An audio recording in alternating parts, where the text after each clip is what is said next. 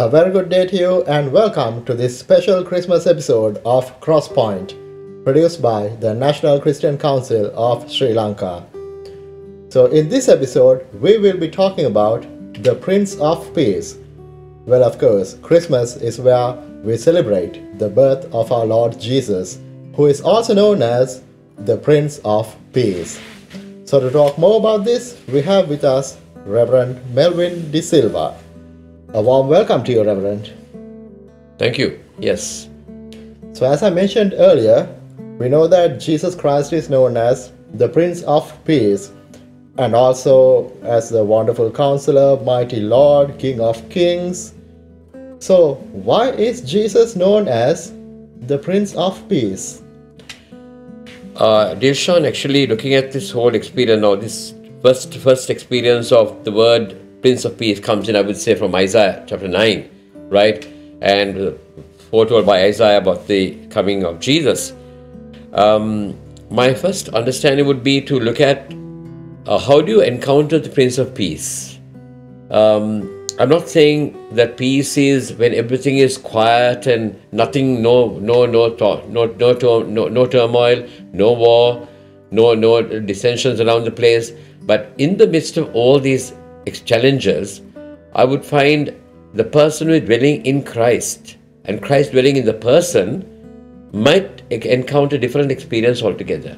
Where Jesus says very clearly in John chapter uh, 15, I live in you, you live in me, that experience. Now, when that happens, his enthronement is in us. I believe he becomes a different person altogether.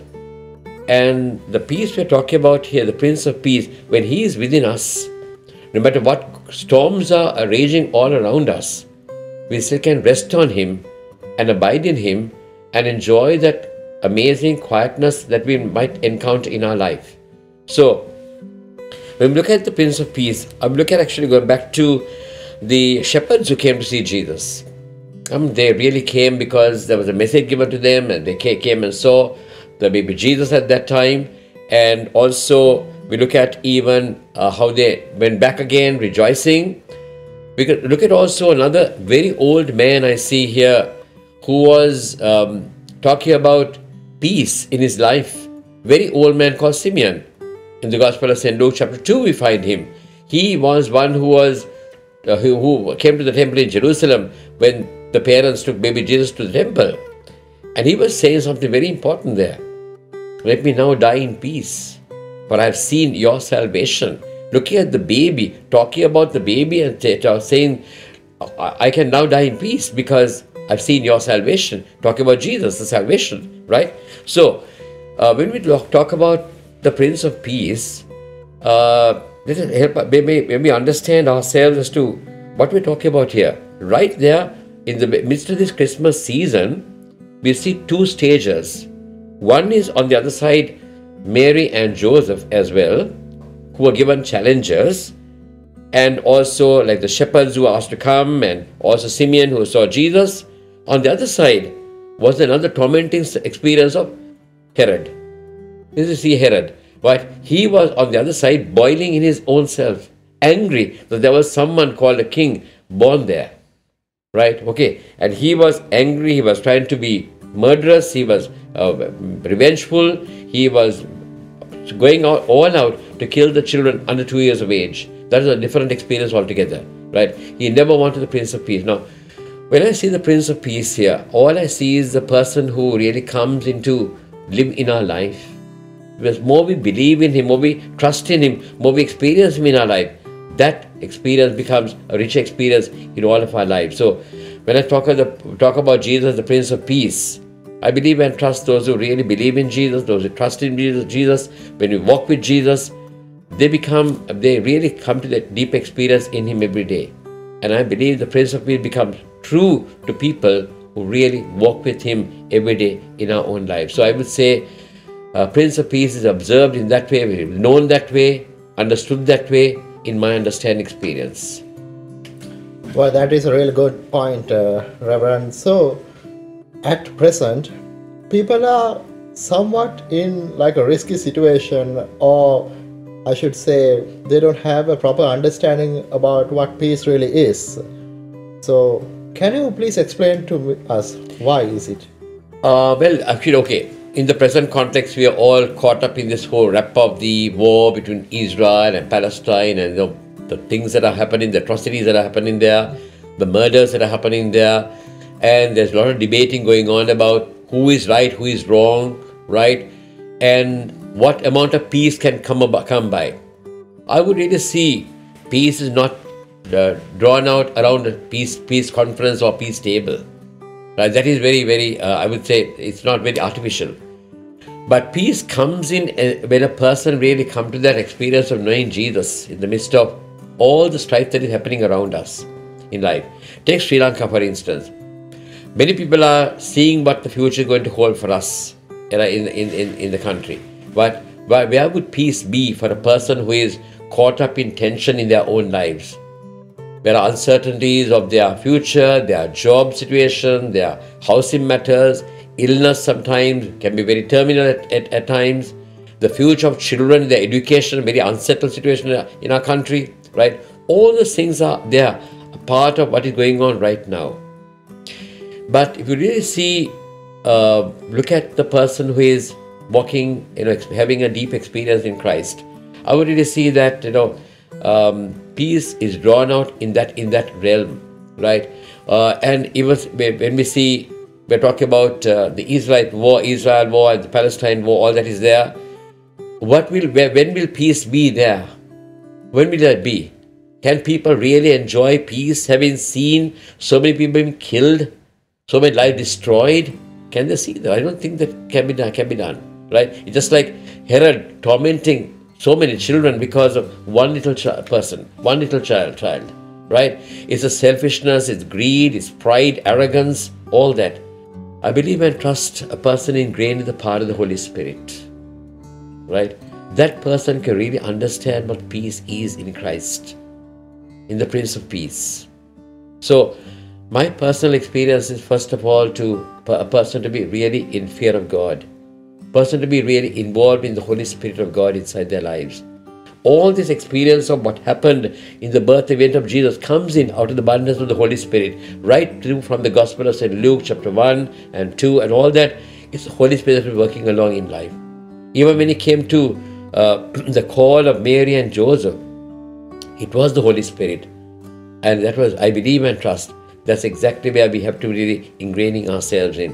When the person is in the Holy Spirit, our lives are different altogether. There is so much joy and peace and love and you know uh, patience and understanding, kindness, gentleness. All these things are there, right? There's no selfishness involved, right? There's no pride involved. There's forgiveness involved. So I believe and trust peace comes in when we are really ingrained in that experience with Jesus Christ. Well, that's so true. Uh, so, as Christians, what can we do in order to share the peace of Jesus Christ with the others. Uh, I wonder how many of us really spend time to educate God's word. Right? And I believe and trust that initially the first Christian church the Holy Spirit, way back in the Pentecost uh, experience, the church was enraged in two, four areas. One was prayer, one was sharing God's word, one was dwelling around the breaking of bread, the other was fellowship. And the church began to grow in numbers there, right? And that, that became very infectious. Our Christian life must be very infectious, Dilshan, because our life must share the power of God through our lives to others. People must see a gospel message in ourselves. More than reading the gospel, our lives must reflect and portray the message of Jesus through, through our lives, right? And I believe and trust that we need to be uh, sharing that love in a most amazing way in a day-to-day capacity. And that way, a person living in that in that experience of peace with Jesus, you know, can be such a blessing to many people. The love that we share, how we look at things when people are sometimes even insulted or uh, let down in life, yet they can still stay strong in the Lord and trust in Jesus for something good to happen in the coming times, right? So, uh, I really believe that we have so much to talk about this whole experience of Jesus in our own lives. But purpose, purely on the Word of God. People living on the Word, obedient to the Word of God. And I believe that that will be the greatest Christian call that we can have in our own selves. And that way, people can start working through our home lives. And from our home lives, draw out from us into the working place or school or society or marketplace or wherever we go, we need to share that infectious love with Jesus Christ. So it must begin right from the depth of our own heart and soul first. Christ dwelling in me, the, he, the Prince of Peace dwelling in me, living in me all the time. That will be the best way that we can share the Prince of Peace with the whole world. Well, that is so true. And I'm sure what you mean is that we need to share the love of Jesus Christ, the peace of Jesus Christ, especially with those who are oppressed, those who are being insulted, those who are discriminated. Isn't that what you mean? That's right, because today actually where, where we see in this commercial world, the world of you know technology, world of sometimes uh, you know all this growth around the place, a lot of people are let down in many many areas. Sometimes their own workplace they're let down. Sometimes they are made to do certain things that are not in keeping with the gospel. Some people are struggling and grappling with those issues. But I believe a person dwelling in the Prince of Peace, dwelling with Prince of Peace within, dwelling within them as well, can be a different person altogether. So the challenges are imminent all the time. We have challenges every day in our lives. People sometimes verbally, mentally, you know, physically can do various things to in our lives. But uh, I believe and trust in, in, in going in encounter experiences. We believe that our lives can be a very big blessing to many people who are struggling in, the, in our society, in our lives, in that way. So, I pray my, my recommendation to us is that we celebrate Christmas, that we first of all ask ourselves the question what is Christmas to us? The Mass of Christ. Christ working in our lives, and we work in Christ. And the Prince of Peace become so evident to us in ourselves. And I believe and trust as we celebrate, people will discover Jesus, the Prince of Peace, in the most powerful way in these days. And be able to share that in the context that we're living in. Maybe in the world, maybe, maybe in our country, maybe, maybe within our society, our government, maybe, and even our own selves and our own homes. So, one more question, uh, and that is uh, how can we spread the message of the Prince of Peace, that is Jesus Christ, in our own day to day lives, in our own day to day situations, whether at our workplace or at school or wherever we are? Dear actually, we're living in a very multicultural, multi-religious society, right? And I believe and trust me, look at the very cross of Jesus, I really see the Prince of Peace really portraying himself out.